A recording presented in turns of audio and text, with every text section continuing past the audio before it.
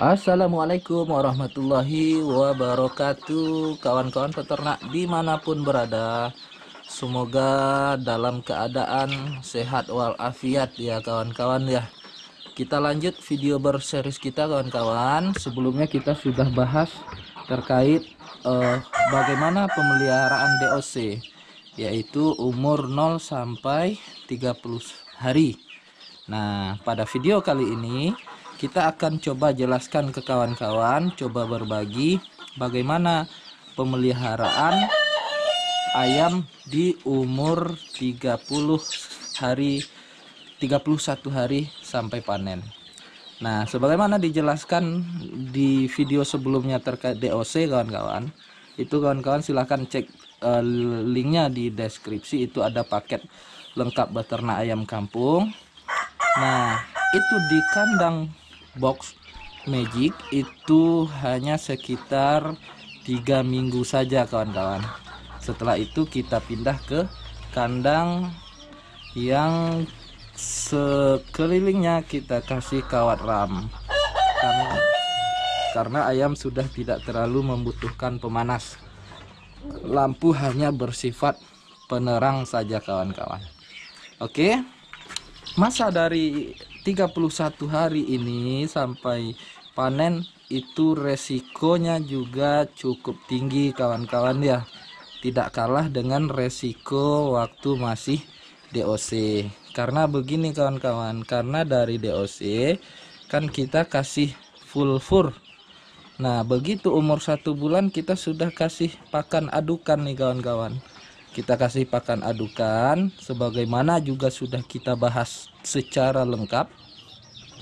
Itu sekitar satu minggu itu kurang lebih itu ayam agak kaget kawan-kawan. Nah, ini sepengalaman kita ya kawan-kawan ya. Agak kaget karena dari pakan uh, full fur langsung ke pakan adukan. Tapi tidak masalah kawan-kawan. Karena memang uh, pengalaman kita itu tidak terlalu uh, berisiko tinggi atau gimana bahasanya itu tidak terlalu masalah lah. Namanya juga dari pakan mahal ke pakan campuran itu tentu agak kaget ayamnya. Oke di sini kita hanya butuh waktu dua atau tiga minggu saja. Itu tergantung kondisi ketersediaan kandang kita. Nah setelah dari kandang ini dua atau tiga minggu kita akan langsung pindahkan ke kandang pembesaran dengan alas sekam. Oke sebelum kita lihat kandangnya kawan-kawan ini juga beberapa hal yang perlu kita perhatikan misalnya ada ayam yang sakit atau kurang sehat kita harus pisahkan terlebih dahulu sebelum memindahkannya. Makanya kita juga butuh satu kandang lagi kawan-kawan. Nah ini dia. Ini mohon maaf kawan-kawan agak gelap karena kita di dalam ruangan. Nah ini kita ayam-ayam yang kita pisahkan. Ini ayam-ayam kurang sehat. Nah ini contohnya. Nah, ada yang pilek ada yang uh, senot. Nah ini kita obati kita karantina di sini dulu. Kawan-kawan juga harus sediakan nih kandang untuk isolasi. Oke setelah kita pindahkan kita pilih yang sehat-sehat langsung kita pindahkan ke kandang pembesaran. Kita lanjut kita coba lihat dulu kawan-kawan ya sebentar.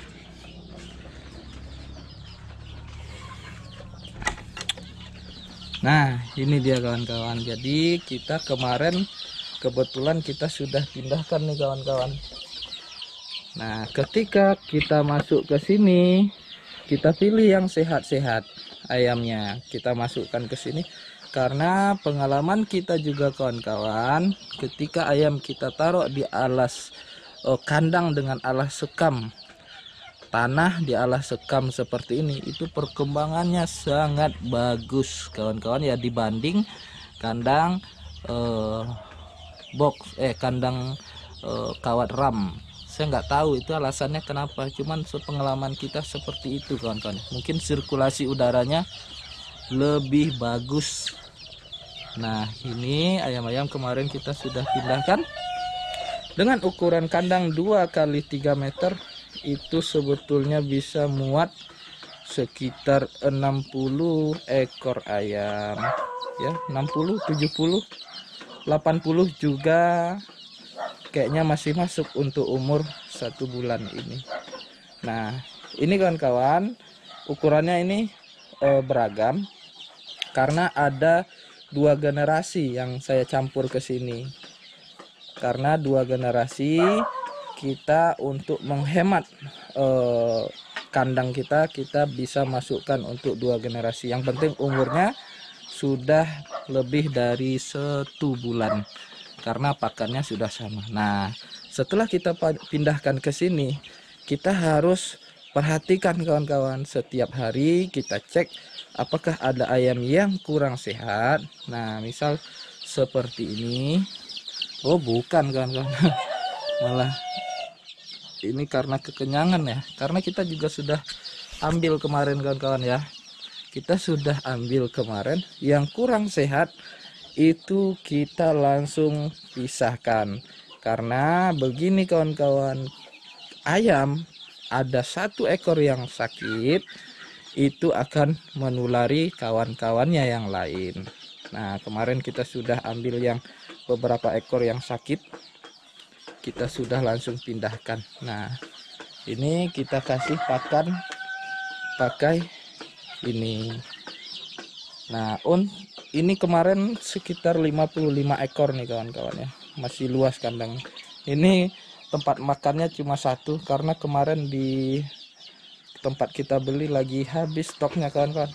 Jadi mudah-mudahan nanti sore kita sudah uh, beli satu lagi sehingga ada dua tempat pakannya. Nah terus pemeliharaan ayam di umur satu bulan sampai panen ini kita juga harus rutin memberikan vitamin kawan-kawan. Vitamin kita berikan itu satu minggu sekali. Kita berikan setiap hari Rabu kawan-kawan itu vitaminnya kita sudah kasih Neobro. Oke ya kawan-kawan ya. Nah nih mantap. Nah setelah dari sini itu kita akan tetap kasih pakan eh, sesuai takarannya. Kita cara mengasih pakan sesuai takarannya kita kasih dulu kawan-kawan ya. Kita kira-kira terus kita tunggu dia makan. Nanti selesai dia makan kita cek apakah ayam sudah kenyang apa belum. Tapi kalau sudah terbiasa itu kita sudah bisa menakarnya dari awal kawan-kawan sehingga tidak perlu ditambah lagi. Oke ini umur satu bulan. Lumayan kawan-kawan ya. Oke setelah ini melewati umur 1 sampai 2 bulan kawan-kawan itu sudah eh, aman lah. Sudah aman. Tingkat kematiannya juga tidak tidak banyak lagi dan bahkan tidak ada yang mati lagi ketika sudah umur dua bulan. Nah selanjutnya kita coba cek uh, permisi. Dulu ah numpang lewat nah ini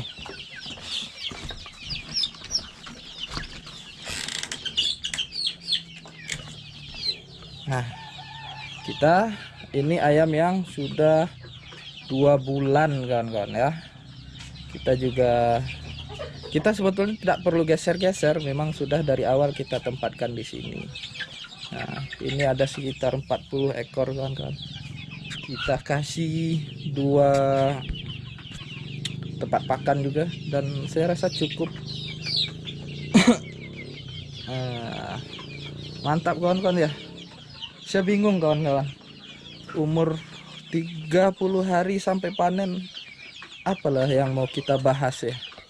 Karena memang kita harus cuma seputar kasih pakan kita pisahkan yang sakit kita eh, sortir berdasarkan ukuran jangan sampai ada yang kecil nanti malah nggak dapat makan sama teman-temannya. Terus kita rutin kasih vitamin. Sudah itu aja kawan-kawannya. Nah, oke. Okay. dan kita lihat nih setelah dua bulan kita juga punya ayam yang siap panen nah kita lihat Oke, nah ini kemarin uh, sisa panenan kita kawan-kawan. Karena toke kita itu milih yang besar-besar. Jadi yang belum masuk ukurannya ditinggal. Ini kemarin juga sekitar 50 ekor. Jadi sudah diambil separohnya ya paling ini sekitar 20 ekor kali ya ada. Nah, ini sudah siap panen kawan-kawan.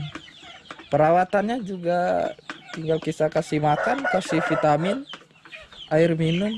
Oke sudah. Oke ya kawan-kawan ya. Nah, paling itu kawan-kawan. Karena kalau nanti ada yang perlu ditambahkan mungkin kita akan bahas di video selanjutnya karena permasalahan itu akan datang seiring berjalannya waktu. Selama ini permasalahan kita umur satu bulan itu rentan kena penyakit. Karena eh, kadang kandang kita itu lembab kadang musim hujan. Up. makanya kita harus makanya kita harus perhatikan betul ayam-ayam kita begitu ada yang sakit nah langsung kita pisahkan supaya tidak menulari ayam-ayam yang lain oke lah kawan-kawan ya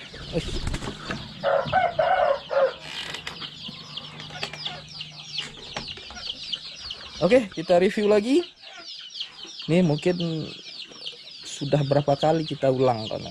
Pertama, pakannya sudah pakan campuran. Kawan-kawan cek di deskripsi linknya saya sudah buatkan dan itu yang benar-benar kita pakai. Tidak ada yang kita sembunyikan atau tidak ada yang kita lebih-lebihkan demi viewer. Tidak ada ya kawan-kawan ya. Yang kedua pisahkan yang terkena penyakit yang kurang sehat langsung dipisahkan.